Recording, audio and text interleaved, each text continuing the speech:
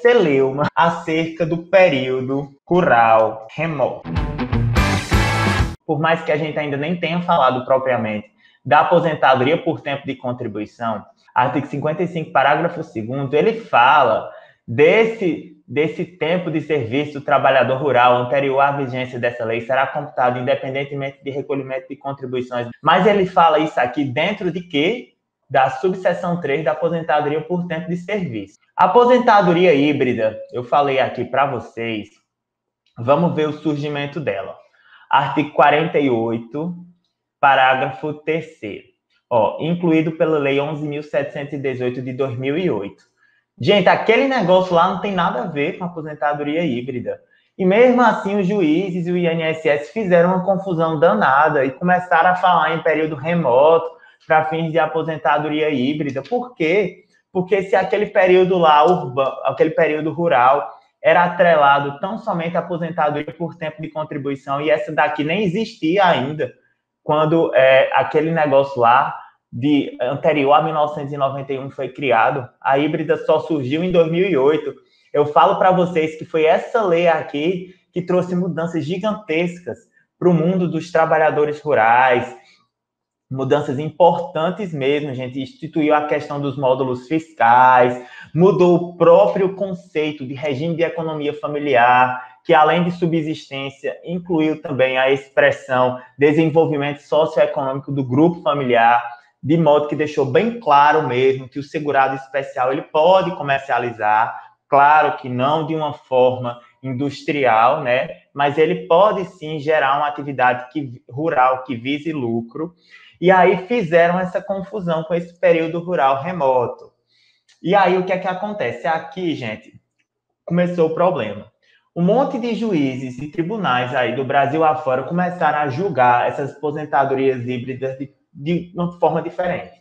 Uns julgavam dizendo que a aposentadoria híbrida só poderia ser utilizado período se fosse remoto só podia somar com o período rural se ele fosse anterior a 1991, quando isso não estava na lei de forma nenhuma. Outros diziam, não, pode ser sim, é, posterior a 1991, mas tem que pagar o INSS. Gente, pelo amor de Deus. Diferença básica de carência para tempo de contribuição é que não dá para indenizar carência retroativa. Não dá para você pagar a carência que já se foi para trás, não. Você pode indenizar tempo de contribuição, mas carência não dá. E aí saía nesse sentido. Então acabou saindo aí a aposentadoria híbrida de toda forma. E o INSS, que não é besta, começou também a, na ausência de requisitos legais, instituir seus próprios requisitos lá na sua instrução normativa, e depois veio o decreto 3048 com essas modificações da lei 2008 também foi modificado lá. Então ficou uma confusão. E aí, gente, o INSS começou a estabelecer assim: tudo bem, pode se aposentar como híbrida, aí tá na lei, eu não posso fazer nada, mas o último vínculo trabalhado tem que ser rural. Ao meu ver, essa foi a, a, a, o entendimento mais ilógico possível. Por quê? Porque a aposentadoria híbrida ela é criada justamente para proteger aquelas pessoas que praticam o êxodo rural. Ou seja, que saíram lá do campo e foram para a cidade para tentar uma vida melhor. Eles não, não, não, queriam ter perdido todo esse tempo que ele trabalhou na roça. Nada mais justo. Ora, aquela pessoa trabalhou lá de sol a sol na roça e agora vai ter que trabalhar mais 15 anos de carência aí, mesmo já velho, para conseguir a, a, a, carência da aposentadoria por idade. Não fazia sentido. Então, o, a aposentadoria híbrida, ela, em sua essência, por mais que hoje não tenha mais isso, essa preponderância e tal, ela surge nesse cenário, num cenário de êxodo rural. E aí o INSS dizia, não, para fins de aposentadoria híbrida, ó, tem que ter qualidade de segurado especial rural. O último vínculo tem que ser rural. Então, pensa comigo, a pessoa trabalhava na roça, aí vai para a cidade, aí se desilude, aí é muita violência. Não gostei, não gostei, quero voltar para a roça. Pode ter acontecido isso? Pode. Nossa, deve ter acontecido demais também. Mas eu acho que comparado ao êxodo rural mesmo, não é, não é o que acontece na maioria dos casos.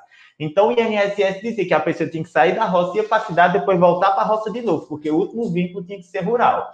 E o INSS também ainda acrescentava, não pode ter descontinuidade. Então, eram não podia haver aí uma descontinuidade de urbano para rural. Por exemplo, vínculos entrelaçados de urbano para rural tinha que ser um período íntegro de urbano e outro períodozão íntegro como rural, que já dificultava mais ainda. Gente, pelo amor de Deus, quem ia conseguir se aposentar com híbrida com esses requisitos do INSS aí? Ok?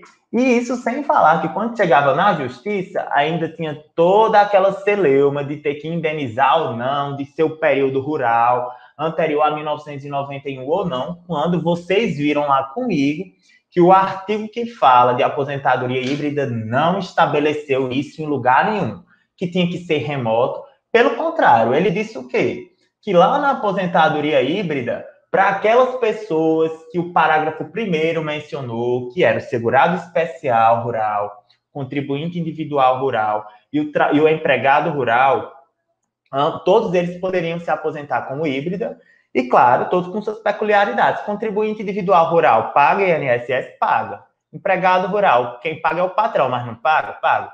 E o segurado especial paga? Bom, ele pode até pagar, se ele versar contribuições em caso de comercialização. E é por isso que ele é um segurado obrigatório, não é facultativo. Porque em comercializando ele tem que contribuir. Mas se ele não, se, se ele não comercializa, ele não vai se aposentar de toda forma? Vai. Então pronto. Então isso significa aqui que para a híbrida, mesmo que fosse posterior a 1991, não precisa contribuir. Gente, isso é mais lógico, é muito lógico para mim. Entendeu? Mas infelizmente não foi assim. Até que veio finalmente uma decisão maravilhosa do STJ, que foi o tema 2007. Ele explicou e botou uma pedra em cima de todos os assuntos que estavam aí controvertidos.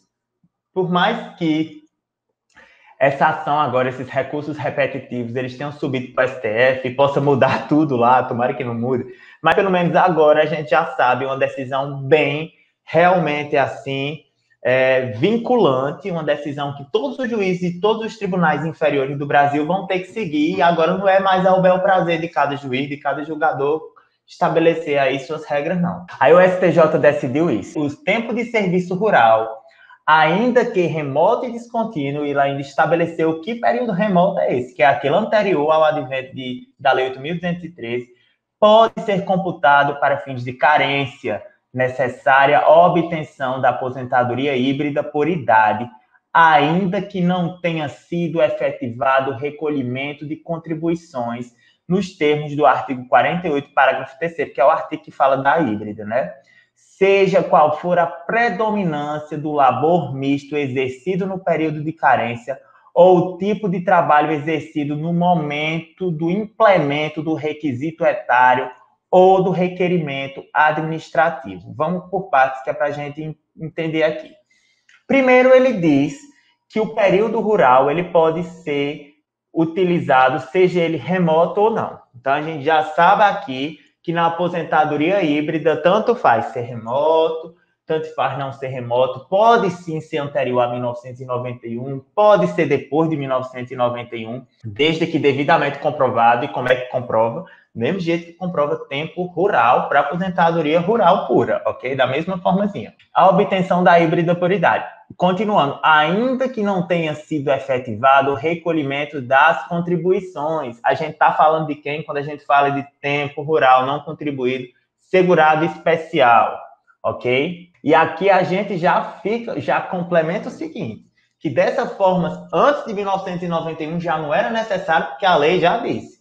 E agora ele diz, ainda seja ele anterior ou não, ainda que não tenha sido efetivado o recolhimento das contribuições. Isso significa, gente, que para segurar especial rural e híbrida não precisa indenizar nem antes de 1991, nem depois de 1991. Antes nunca precisou, na verdade, porque a própria lei já estabelecia, né? Depois ainda ficou essa discussão, mas o STJ colocou aqui o martelo, ele bateu o martelo e disse que não precisa, ok? E ele ainda diz, seja qual for a predominância do labor misto, não importa qual que ele exerceu mais, no final das contas, ok? E também não importa, gente, o trabalho exercido no momento do implemento do requisito etário ou do requerimento administrativo. Por quê? Porque o INSS não sustentava que o último vínculo tinha que ser rural. Não, tem que ser rural. O último vínculo tem que ter qualidade de segurado especial rural.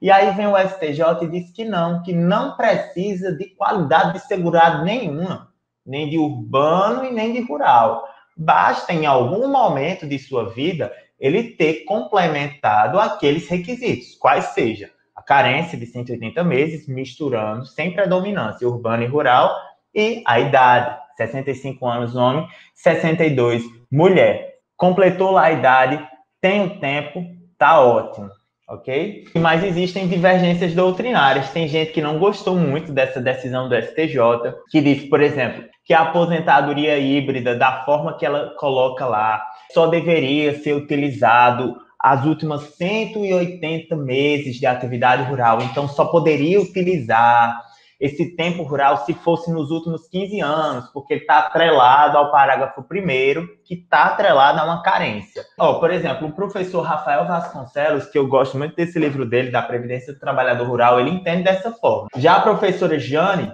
Van Berger, ela entende da mesma forma que o STJ, que não precisa estar tá dentro dos 15 anos, não.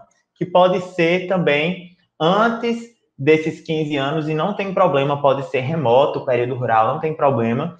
E eu entendo que realmente esse entendimento doutrinário defendido pelo professor Rafael Vasconcelos Porto, ele é bem lógico mesmo, porque a híbrida ela está atrelada ao parágrafo primeiro lá, como vocês viram, e o parágrafo primeiro ele fala que tem que ter realmente aquela carência, na verdade é o parágrafo segundo, né? Por tempo igual a meses de contribuição correspondente à carência. Esse está atrelado a isso. Mas ainda assim, eu vou na onda do STJ porque é a mais benéfica para o segurado.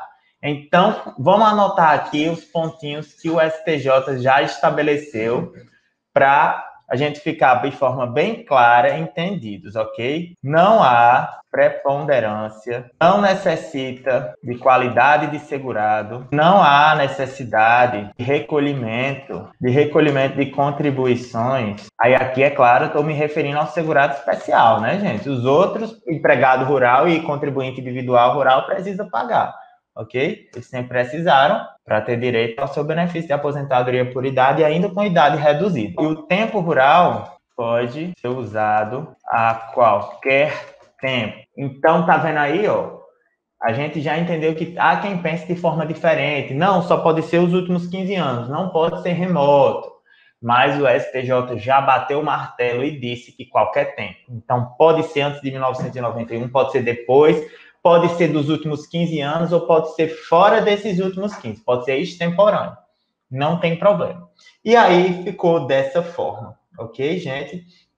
Eu preciso só terminar dizendo que o STJ ele determinou o sobrestamento, que é a suspensão, né? De todos os processos que versem sobre o tema da aposentadoria híbrida a nível de recurso. Então, gente, ah, eu posso dar entrada, doutor, com minha aposentadoria híbrida na justiça? Pode. Pode ser que seja julgado, top, você consiga trânsito e julgado, cumprimento de sentença, aposente seu cliente e receba o seu dinheiro todinho. Pode.